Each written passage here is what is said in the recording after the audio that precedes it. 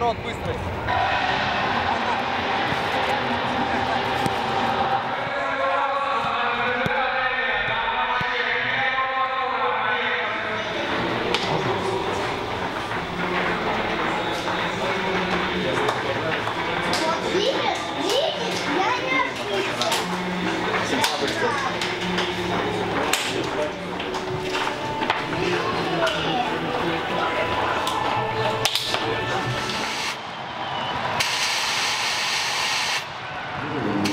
Первому тайму, то я считаю, что очень много неподготовленных ударов.